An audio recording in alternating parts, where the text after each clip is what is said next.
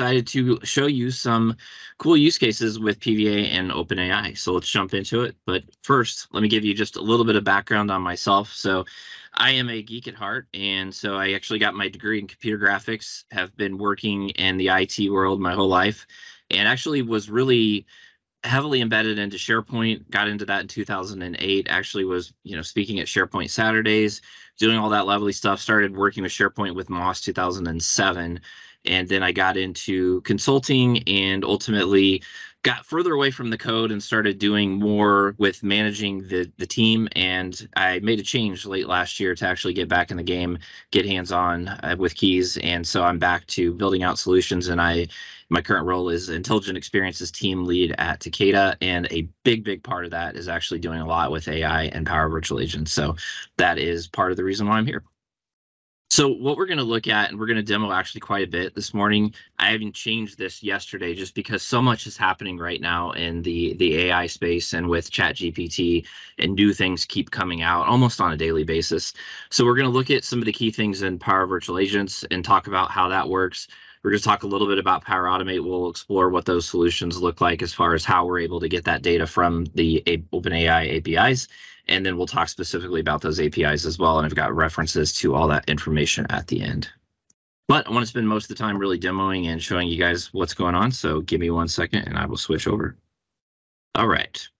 So I've got a couple bots and we're going to look at a first scenario here of essentially looking at OpenAI and what we're going to be doing here is just essentially being able to do two things either having a single chat, single question or query, or creating images. And so on this particular bot, I can actually chat if I want to, or I can just ask a question. So I'm going to say, who was the 17th president of the USA? All right, and so get back a response here. So this is pretty cool. I'll show you the conversation, I think, which is a lot more powerful, but we can get a little bit spiffier if we want to. We could say, give me a list of Michael Jordan's shoes in the following format.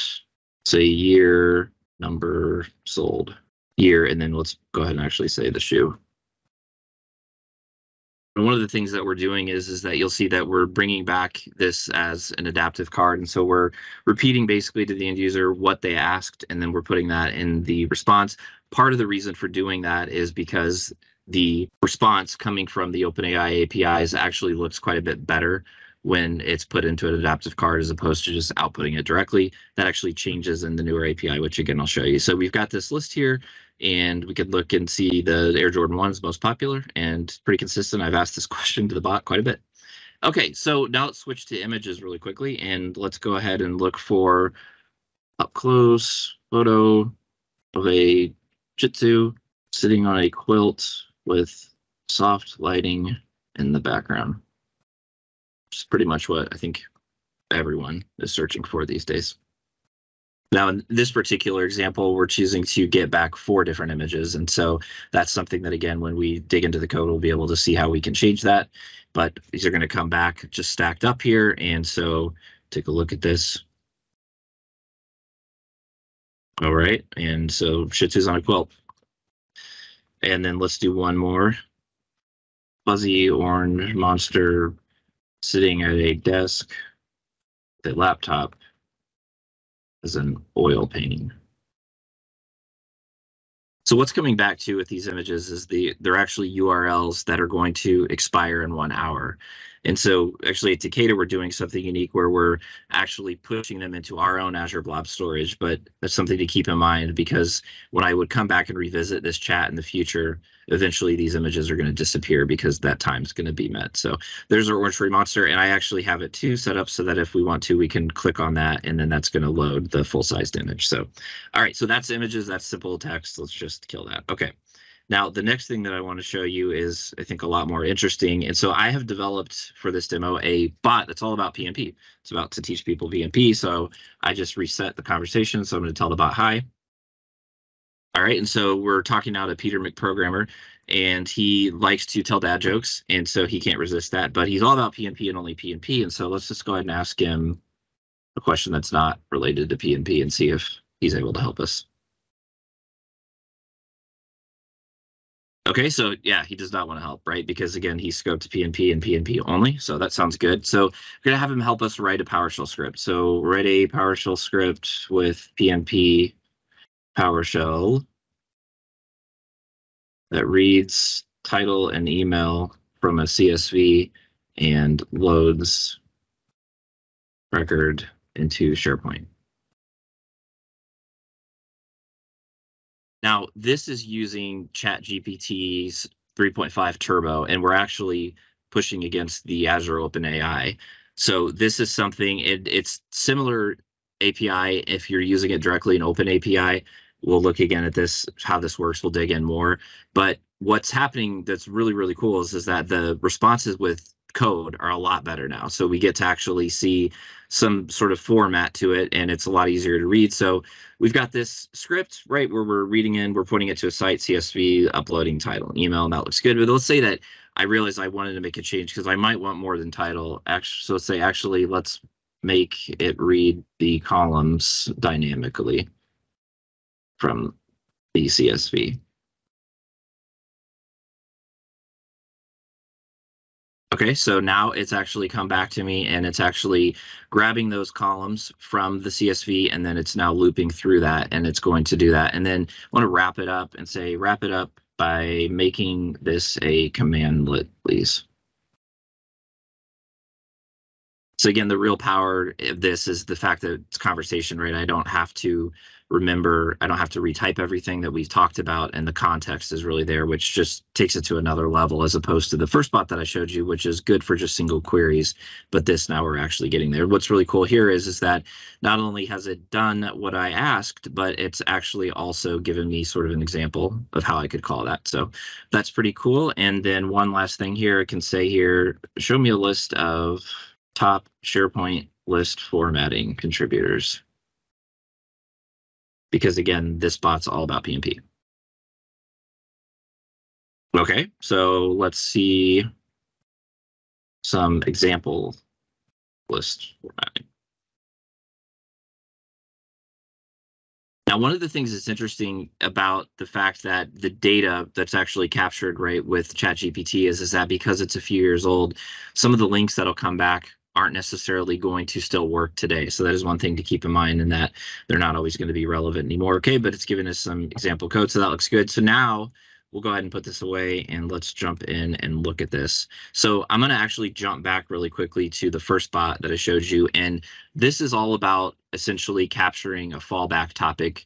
We, we are doing a conversation starter here so that we're saying, hey there, feel free to start typing we're using something called quick replies. This is the unified canvas preview. So you could do everything that I am showing you in with the with bot composer, but it's a lot easier to do in unified canvas, which hopefully will be GA here in a few months. And so wanted to kind of show out that capability, which is really, really cool and really blends well those two, you know, those two interfaces. So we can chat, we can create images. What we're actually doing here is issuing commands. These are triggers that are going to trigger other topics. And what I want to show you really quickly here, we're not going to make any changes. If we go over to system and we go to the fallback, then here we're actually looking at what's happening. So a topic is not going to be triggered because we have almost no topics that are looking or listening for anything particular. So it's an unknown intent. We're going to grab what they put in as our prompt, and then we're going to actually send that to a flow. And again, if we want to go in and look at some of these flows, for this particular one, we're looking at completion. So it comes in as the prompt, and then we're initializing a completion. We're actually putting something about not being able to be able to get a response because if an error happens, then we have an initial value there.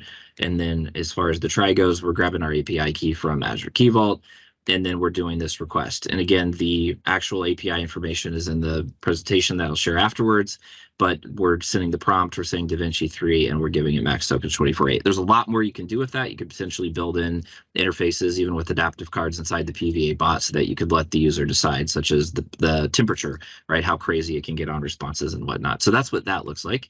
And then really quickly, we're going to jump back over here to let's create images, show you that. So this one in particular, because we are looking at a trigger, we want to get them into this actual flow. And so when they say let's create images, it's going to ask them to describe an image.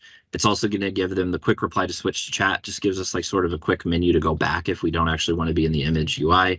And so we're going to pass the image text and then we're going to output. And this is another really cool part of the unified canvas. We can do an adaptive card directly here. So if I click on this and expand it, I've actually got a formula in here. And so what you'll see is I'm getting back the actual raw response from OpenAI. I'm taking that as it is, parsing the JSON, and then looking at the data property and that is going to just be an array of URLs. And so I'm going to loop through all of those and I'm creating an image type. I'm going to pass the URL of the records URL as text, size stretch. So that's why we saw those nice big images in Teams. And then I'm actually adding that select action onto it so that the open URL will allow me to click on the link and then open up a new bot. So that's what the images look like. And then to go back over here to the, again, I think what the more exciting one is the GPT.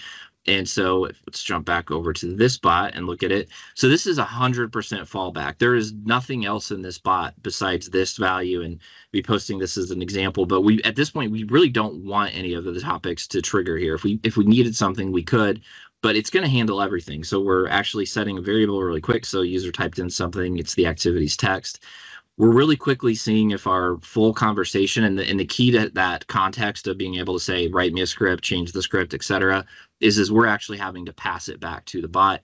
And so that that's how it's able to remember and retain. It's not going to do that on its own but if it's blank we're setting a, a value here and that value just really quickly is going to be chat markup language. This is where I mentioned it's a little bit different with OpenAI. OpenAI does essentially an array of values, and this is really more string format. But we're basically saying a system prompt. We're giving it we're giving it a personality. It's where we're talking about this is what you do, this is what you respond with when somebody asks for something that's not part of it, et cetera, et cetera. And then it's basically waiting for the user query here. And so that starts the conversation.